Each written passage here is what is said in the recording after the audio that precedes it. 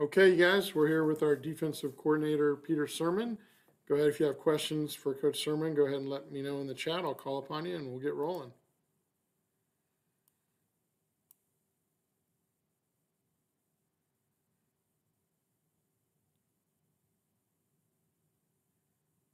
Go ahead and get started with uh, Jake Curtis from Cal Sports Report. Yeah, can you talk about Trey Paster's uh, situation in terms of his improvement at uh, linebacker? And do you think he'll get significant playing time next fall? Trey's doing a really nice job in the meeting room on the field. Um, you know, we've talked about guys moving forward in the defense. Things happen quite a bit faster. Um, he's made significant improvement with his eyes just in these, uh, you know, the first six practices that we've had.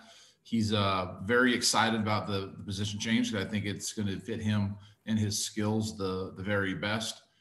Uh, playing time will be determined by you know how he continues to develop, Jake. So uh, I think he has every opportunity to to compete for significant playing time, but you know a lot of that is determined by um, the willingness to learn, you know, the good fortune of staying healthy, and, and some other factors that uh, can and cannot be controlled. Okay, we'll move to Trace Travers from Rivals. Yeah, morning, Coach. Want to Good ask morning. about your uh, two your other inside linebackers who played significantly last year, and Evan Tattersall and uh, Mo Iosefa. How are they developing with more reps this spring? You know, Mo has made uh, significant strides. You know, he was uh, with the abbreviated camp. There wasn't the uh, the same amount of detail that we were able to get in um, with lacks lacking some of the reps and some of the team settings due to some of the restrictions. So Mo's uh, made some big strides here in the first five six practices, and I think he continue uh, he'll continue to do that. He's a, a very instinctual player. I call him slippery. Sometimes he can slip some blocks and and uh, he can get get through some tight spaces. So uh, I'm excited about his future and, and what he's doing. Uh, Evan Tattersall, uh, as in the most experienced player that we have, he is still showing uh, really good signs of improvement, which is great as players get older and more experienced in the in the defense and in the techniques to still see that that level and that room to continue to improve. Uh, Evan has really dedicated himself in the weight room. Um, he's very talented athletically, and he's playing really strong. And, and I'm uh, I'm really proud of him for how he's uh, he's worked and how he's applied himself. And and uh, you know we're continuing to see him get better. Does their development and maybe the depth that you guys have recruited at the inside linebacker position did that make you feel more comfortable moving Kuony to outside linebacker? Though I know he's going to play some inside still.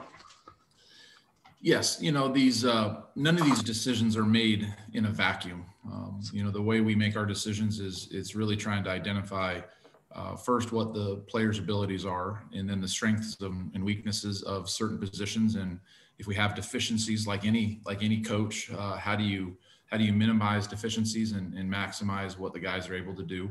Um, I feel very comfortable with who we've recruited and what we've recruited at the inside linebacker position, and now it's time for those guys to uh, show the development and and uh, go out in there and play more meaningful times. All right, thank you. Okay, we'll uh, move on to David Bush from Bear Insider. Yeah, good morning, Coach. Um, the the safeties, uh, you've got uh, quite a bit of uh, experience returning, and how are the younger guys uh, working in? And do you see any of them uh, making some dents into the depth chart? You know, this is very similar to, to Trey's, you know, Trey Paster. Uh, you know, the the depth chart will be determined uh, by some good fortune on, you know, staying healthy and, and then the opportunity for those guys to show improvement. Uh, but you are right, you know, with Elijah, um, Craig, and Daniel, you know, those guys have, um, you know, a pretty good amount of experience, especially uh, Elijah and Daniel. They've been here for several years. Uh, Craig Woodson is a player that we feel really good about, and he has every opportunity to, to you know, find more playing time than he did even last year. Uh, the addition of uh, Ray Woody, you know, it's fun to watch him get involved in things. It is uh, uh, as a as a transfer, he's still new to us, so there's a significant learning curve in terms of the vocabulary, uh, some of the ways and the techniques that we play. Uh, Hunter Barth is out there uh, getting some reps, and I'm uh, you know really optimistic about what Hunter's going to be. He's very mindful. He's got really good skills. He's you know a lot bigger than than really I anticipated. He's got good length. He runs well, and then Dwan Butler is uh, you know another player that you know we originally uh, recruited as a as a corner, and we've transitioned him to that safety position. And the more reps and the more team activities he gets, uh, you know we will see him improve as well. And do uh, any of them uh, lend themselves more to a free safety or strong safety, or do you guys make even make that distinction? There were times in the past that uh, we kind of made that distinction. Um, you know, three years ago, um, three four years ago with Ashtyn and Jaylinn, uh, those guys, in our opinion, had some um, different different strengths. So there were opportunities to to uh, game plan of where they're going to line up in certain formations a lot of the time for our, our basic install, we play left and right. That provides the opportunity for, for both safeties to see the pictures and to learn both techniques into the field and into the boundary.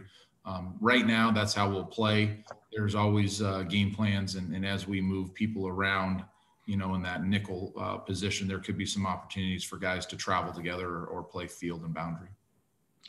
Thank you. Okay, we'll go back to Trace Travers. Yeah, I wanted to ask about the defensive line, specifically your nose guard spot. Now that you have guys who have the body type to play there, I know Aaron's out for the spring, but how have Stanley and uh, Ricky Correia done so far through, I guess, six practices here? Well, first thing that you notice uh, when they're on the field is those are two big human beings. Um, and then, uh, you know, I know uh, our emphasis has been getting, you know, people that are that have greater stature. You know, it's um, you know, football is a, is a, big person game, and, and we want to continue to get big uh, in the defensive line. However, you know, you still need some of that position versatility. So it's not a, uh, you know, that's not the only prerequisite that we're looking for. But uh, Ricky has has really done some really nice things. He's flashed. You know, it's good to get him back on the field. Um, you know, there were some uh, instances where he had, you know, a couple, uh, couple dings where he wasn't able on the field in the fall, but uh, Ricky coming back is really good to see him. He's a again he's a big big guy. Uh, he has really nice feet, and uh, the more reps the, that he gets, I think we'll find opportunities to to find uh, packages for him to be in there. Stanley, you know, just I was telling him just the other day he had a great one-on-one rep in pass rush. You know, and that's that's exciting to see for for a player that you know kind of plays the interior part of our defensive line to be able to win a one-on-one. That was uh, that you know that got us really excited. Awesome, thank you. Okay, we'll go back to Jake Curtis, Cal Sports Report. Yeah, Peter, I want to see how bold you are here. Uh, if if you, the season started tomorrow and you're playing a basic three-four defense, who would be your four linebackers? Well, as we, you know, the way we walked out on the field today, um, which is not where we're going to start. So, uh, you know, the, the outside guys, there's there's going to be some opportunity to to jockey. You know, I don't think there's any any secret that there's you know there's a couple guys that has significant reps, but um, you know this is uh, this is a far from a finished product. You know the the behavior um, of our players, behavior of how they play and compete will ultimately you know dictate. You know they write the news. I tell them they write it, we report it. So their actions and their behavior and their production will tell us eventually who uh, who's on the field. And and uh, right now we are not talking about. Uh, I heard that the uh, the schedule was released last week. That sounded like it was exciting. Um, I think we're playing 12 games, so uh, you know we really haven't considered uh, who's going to start the first one, but but uh, that will come in due time. So to take a long route, I am not bold enough, Jake. You're not pinning me down on who's going to be the starter on March 5. You got to come with a better one than that, then I might be bold you might say, hey, you don't be bold and tell me what you're having for lunch today. And probably have a little, eh, I'm not sure if you're going to pin me down, but not for the starting lineup yet. What are you having for lunch? Well, see, I'm not sure. We'll see if chicken pot pie is on the menu. Has anybody talked about Coach Wilcox and what he's got done with the training, with training table? Oh my gosh, he has worked his tail off along with that admin and if you guys want to write a story, write a story about improvement of how we're taking care of our players and feeding them and treating them uh, as well as we can in terms of uh, nutrition and strength. Coach B has done an awesome job, and Cal Dining is undefeated right now this season. They are kicking, they're they're they're making it happen. So I'm all about Cal Dining. All right, I like that. He'll have a good lunch. He'll have a good lunch today for sure. if we were, if these guys see this, uh, Jackson, you're you're up next. Good luck. Coach, just curious if uh, Nate has done anything to catch your eye in these first six practices. You speaking of Rutchena? Yes. Yes, he has done some things to catch my eye. Um, anything specifically you like about his skill set with the limited opportunities I'm sure he's, he's had so far? we knew Nate was going to be uh, somebody that was going to develop. You know, watching him at Monte Vista, uh, he had the ball in his hand a lot. He returned kicks. He played some outside linebacker. He played some safety. Um, you know, he hadn't had the opportunity to play close to the line of scrimmage yet, and you know, there's not a lot of times. You know, you watch his film that that uh, you know the offense was good enough to block him. So these are things that he's going to to develop. He gets close to the line of scrimmage. Uh, the things that that we're excited about is is we think he's a good fit for what he uh, his personalities and the culture for learning and the culture for for being a tough guy, uh, you know, and coming every day. And tough for us is it exemplifies more than just the physical characteristics, but having the the mental toughness to come and kind of be the same person every day and and bring forth uh, the effort that's necessary. So those have all been very positive with Nate. Has his extra time before coming into the program made him any different than the other early enrollees? You know, I think this one, Jackson, is is uh, very unique because of the COVID restrictions for these guys. There wasn't a lot of opportunities for them to get the the typical, uh, you know, the workouts and and be able to utilize those extra three or four months. So uh, that was a that was a definite setback in, in terms of him coming in um, on an, on the delayed enrollment. Thank you.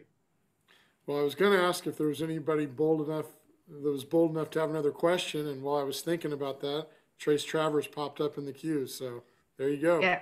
Yeah. Well, I Uh, worry about Trace now. Now that we're kind of going down this rabbit hole of boldness, he's because as I'm talking, I can see the little giggles, and he's got a he's got a like a you know when you're not supposed to laugh and then something's funnier. That's where Trace is at right now in this whole conversation with all of us sitting here like a Hollywood. It's square. just You know, look at all the- unexpected- all the unexpected faces, stuff. Hollywood squares here. Got Jackson. You're my you're my uh, the one right in the middle. I don't know what they call that one, but you're the one that everyone's going to call on on Hollywood. center square. Center square. What do you Yeah. got, Trace? Uh, you said it last week that the defensive line position is one that you're going to recruit, recruit, recruit. And I want to know how much of an emphasis, especially with the two guys that you got in early and Keeley and uh, Patrick, who's outside linebacker, but still in that same kind of vein, how much of an emphasis there is on just continuing to add length at the position. I think fundamentally in our, you know, in, what we recruit to, um, there is not enough big guys in America for for everybody to be happy uh, in football. Uh, on the West Coast, uh, the guys that that have uh, that have the tools, they become national recruits immediately. Um, it's just it's just the, what the D line position is. Um, to get the guys that you want, I think you're always going to have to be prepared to take overages in in that position. Um, you know, there's you can come in here and look at our recruiting board, and, and there's target numbers. Um, I think target numbers are exactly that. They're targets, but in certain positions, um, the hit rate or you know just the the necessity of the depth to play at championship football, I, think is is really great. You know, I think the the defensive line position to play championship football, uh, you have to have depth. You have to continue that depth. Um, it's a very physical position, and there's going to be you know some some injuries, and guys aren't always going to be able to participate. So that, that's a position. Um, you know, I think that you always have to over recruit your numbers to to be able to play championship football. Thank you. Okay. Anybody else bold enough? Okay. I think we're good. Thanks a lot. Appreciate it, All right, Sirmon. good seeing you guys. Enjoy the weather, and uh, be safe and have a, a great weekend. We'll see you.